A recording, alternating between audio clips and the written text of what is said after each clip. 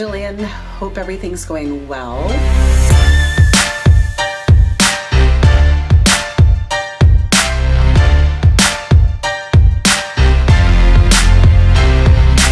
I have assigned a working title of this series uh, to be The Siren and the Vig-. Is that okay?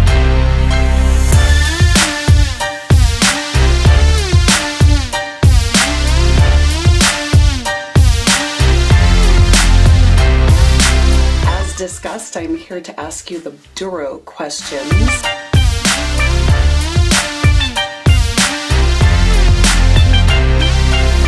Okay, so question number one on Douro. What is the most prominent uh, mineral or rock and soil makeup in the Douro Valley?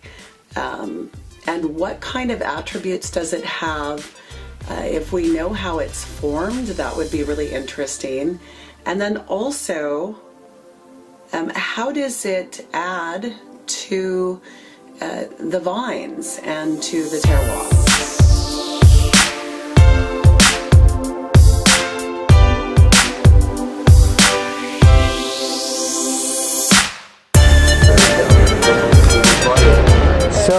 The most important rock or mineral um, here in the Douro Valley is very typical, uh, very characteristic and rather unique. Uh, Not that many wine regions uh, have it. It's called schist. A schist is a compression of clay uh, that's gone underground, accumulated under the sea a long time ago and then it got compressed and it forms these uh, layers uh, of, of clay. It's also called clay um, slate. Uh, the locals call, this, call it xisto here. Uh, it's essentially black slate.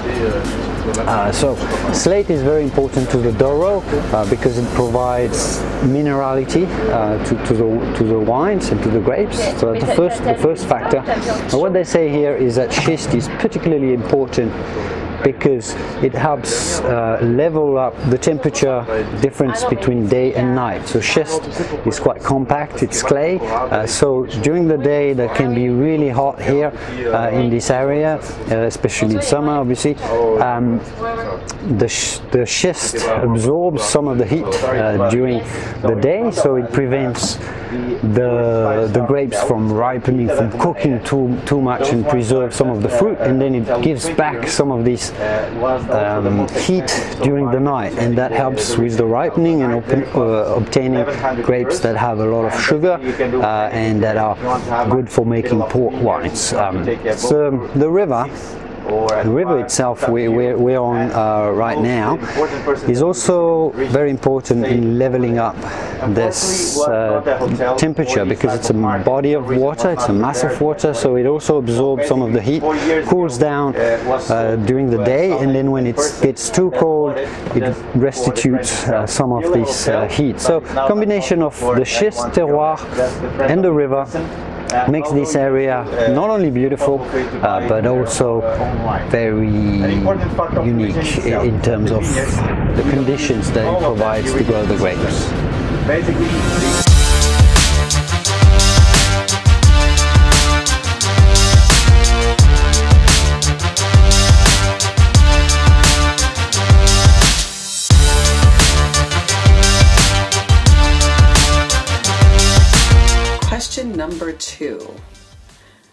I've heard Douro called a few things. There's the Douro, there's Douro Valley, and then simply Douro. And I'm wondering, this region is very big, so I'm curious as to what is the most appropriate name for this region. Um, and if it is called the Douro, why is it called the Douro? Um, and how large is it?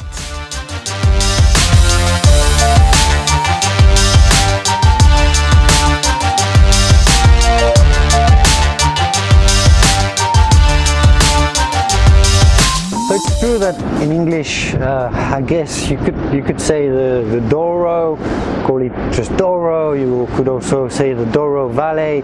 Um, so let's try and understand what this is all about. Essentially, Douro is a river, and we are we're just cruising on it. We're sitting on it uh, right now uh, on this little traditional uh, ship that they have that cruise the river. And traditionally, those ships uh, would also carry barrels all the way down to Oporto, the city, and then from Oporto it would be shipped uh, to the UK, etc. So the river uh, has is, is, important for the climate here, but also uh, it was very important for the trade um, when Oporto um, was was created as a wine region.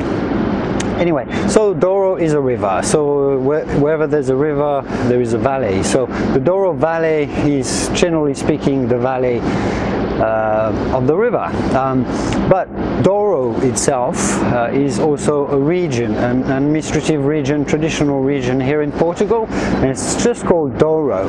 So that's why you can also say Douro, uh, and, and, then it's obviously a bit wider than the valley. Um, and then the Douro, it's just an English term uh, to say to refer refer to the wine region uh, that is Douro uh, as, as a Portuguese region. We're, we're in the northeast here uh, of Portugal, uh, close to the city of Oporto. Hope that makes sense.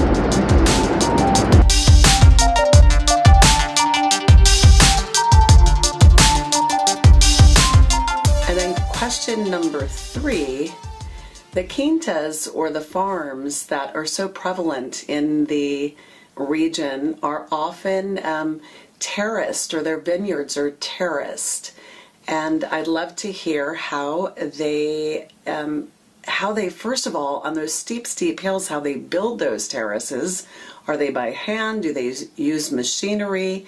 And why the terraces are so important in the farming process for these beautiful vines that are coming out of Douro.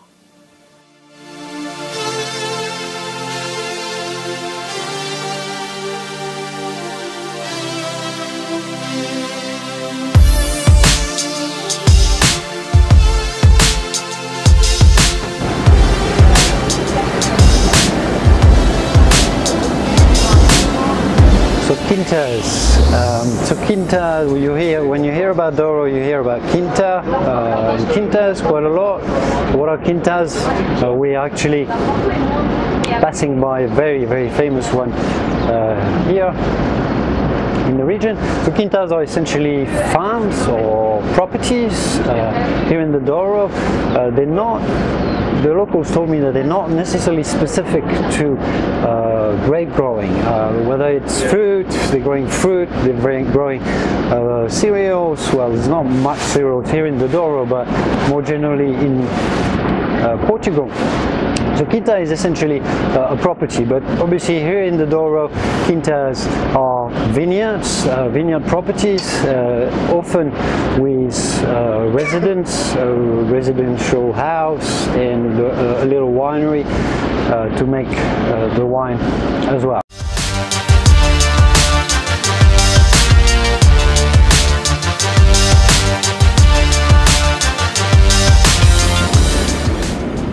Yes, Kelly. Um, so let's talk about terraces. As you can see, uh, they're a very important feature here uh, in the landscape. Um, essentially, why? So why terraces here? Essentially, and it's quite understandable. Slopes are very steep here, uh, so terraces were a way to grow the grapes and prevent all the terrain to be flushed uh, into the river when it rains uh, here. how are they made? Uh, traditionally, they were essentially made by hand uh, using the local slate rock and stacking those pieces of rock together to form walls. Uh, obviously, that would take a lot of effort, a lot of um, hands uh, to, to do. So nowadays, it's not very economical to do that. So terraces aren't generally, new terraces aren't generally built. Those terraces we, we're seeing on the river here were built hundreds of, of years ago. Um, you know, only very special little quintas would sometimes renovate uh, the, the, the, terraces these days. So nowadays, um, they generally level up the terrain and they they plant a bit more traditionally. Um, on, on the hills, uh, which makes it better for using machinery. Uh, it's cheaper to plant, and you know the result is still uh, very good. But those old traditional terraces uh, are still used uh, to this day.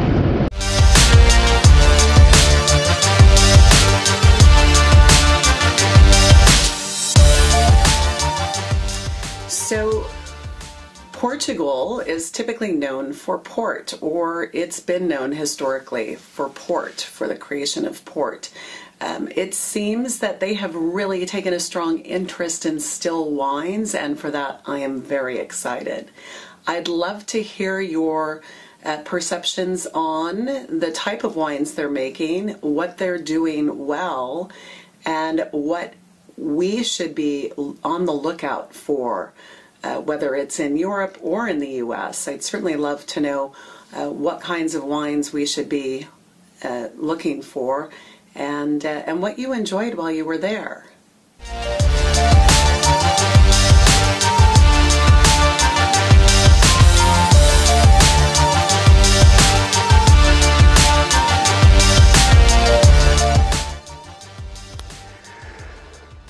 As for which wines to look out for uh, from the Douro here, um, I've only been here um, 24 hours um, and I've, I've, visited here this Quinta, Quinta da Corte. For sure uh, I can see it here at the Quinta da Corte uh, and elsewhere. Uh, the Douro Valley and uh, is not all about ports anymore. It's clearly about dry, dry red wines predominantly. They do make some rosé here and there and, and a little bit of whites but it's mainly red red dry wines. Uh, they're really um, they're quite uh, full-bodied and, and, and rich uh, but they have this sort of elegance against from the from the schist and from the mineral minerality in the soil here. Um, so somewhat of a French finesse uh, to them but you know with a bit more body and, and structure